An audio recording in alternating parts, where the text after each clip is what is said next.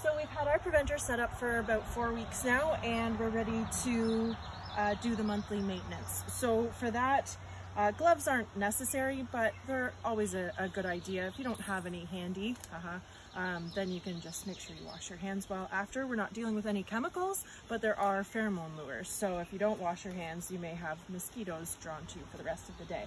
So we've got our preventer. It's set up in uh, a shaded area that's covered by vegetation in a spot where mosquitoes like to be. So we've got leaf litter, we've got some thicker vegetation, and we're in an area where we're not immediately going to be hanging out. We've got, you know, dogs that like to hang out not far away sometimes, uh, but this is, you know, ideal placement for it. So we'll grab our preventer in a second. The other supplies that we need are some water to replace, our refill kit, a baggie to put the old lure in, a remote, and some batteries. Now, we're not changing the batteries in this one today because we can keep a close eye on this. We're gonna wait until the batteries run out. If it's something that you're not able to visit frequently, if you're only at the cottage every weekend, or if we're doing the maintenance and we're only there once a month, then replacing the batteries would be wise. But here, because we can keep an eye on it daily, we don't need to do that quite yet. So I'm gonna go get it.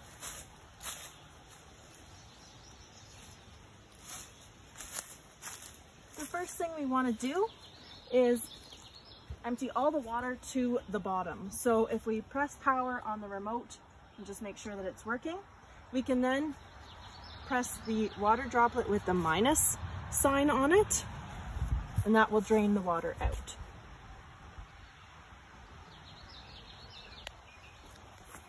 It should, oh I'm on the wrong side. Hmm. Okay. Well,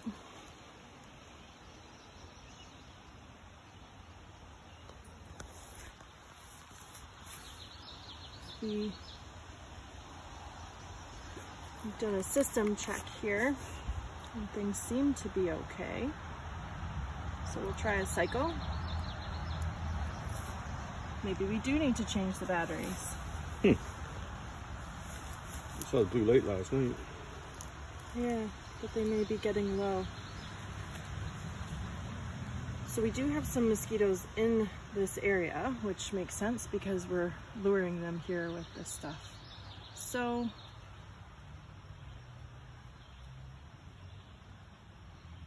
we'll try changing it out and we'll uh, see what happens once we do that. So we're gonna take the batteries out first. We don't wanna get any water on them, so we're gonna put them off to the side somewhere. Now when we empty the water out of here, we're going to have lure left over in it. It, it. You know, it's past its prime, but there could still be some there. So we're going to put the landing strips into our baggie. And then we can just take the top off and we suggest emptying the water in an area right beside the preventer and where it's not going to pool. If it pools and it's got that lure in it, then you're creating other habitat for them and we don't want to do that. So we're just going to distribute it to dry ground right near where we've got our preventer set up and that way it won't be so much competition. So this may not be pretty. Oh, there we go. It's not bad. Okay. And then we can place this on its side. We want to make sure we get the accelerator out. That is what could complicate things. And we want to put that in a baggie and seal it up. Because there could still be pheromone lure left in there, if you just toss this in your garbage, you're going to attract mosquitoes to your garbage. So we got to be thinking about these things. So this distribute again where it will dry up. Okay, now we're ready to start new. So the accelerator that we put in there has to sit for 15 minutes before it's good to go. So the first thing we'll do is fill up our water. Not be lazy, take the duct tape right off. And we'll just fill it to the max line on the window and the base of the unit.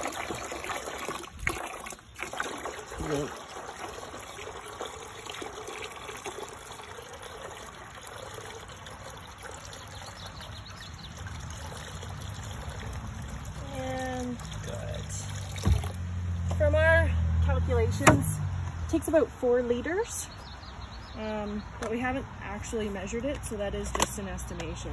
So now I think it's eight liters. Eight liters? I think so. How much is in here? 16. This was full and it was 15. So yeah, it is about eight liters. Ray's right, as usual. It doesn't happen often. So we'll take our mosquito accelerator out of our refill kit. Just looks like a little tea bag and you just dunk it in there. That sits for 15 minutes and does its thing. So now we can replace our filter. So Ray's unscrewing the old filter. That can just go in the garbage. And we can't see the actual filter to count the eggs, which is I would like to do a that. bummer because we want to nerd out about it, but We'll break it open tonight and Doesn't seem like it's easy to do. do. Uh, so that's the filter changed. Now we can put the lid back on. And we're just going to line it up. Line it up. Okay. We're going to replace our landing strips and then we'll determine if we need to replace our batteries or not. So the landing strips also come in the refill kit. So you just rip that open. This is great to do on a calm day because then you don't have garbage blowing everywhere. These landing strips are a little weird. So they have the two tabs and then they have a little bit of sticky tape on the, the back. And the tabs correlate with some tabs on the top of our preventer. So we're just gonna peel the sticky tape off, stick those tabs in, and that's how they get installed. So peel off that backing, find the tabs, line it up, and stick her on. The 15 minute countdown is now on. Uh, we'll get our batteries. Six and a half minutes. Okay, great, thanks. So smart. Okay, so we don't have to change our batteries. Uh, we can still just make sure things are working fine by taking out one. Okay, and if we were changing them all, obviously we would take out all of them, then line them all back up and put them back in. When you put the battery pack in, there's a black tab on the batteries that lines up with a little indent and a, a circle. So there's a dot on each part here, dot here, and a dot here. That just tells you how it lines up. Okay, it won't fit if you put it in the wrong way. It doesn't doesn't work. It doesn't jive. So you just line up those dots and you should be good to go. So now we'll grab our remote and we'll see what this says. To cue it up after you've taken the batteries out, you want to press power five times. Once that happens, you should get zoom tight a flashing light. And that allows you to set the clock, which we don't know what time it is, do we? No. We're gonna pause the video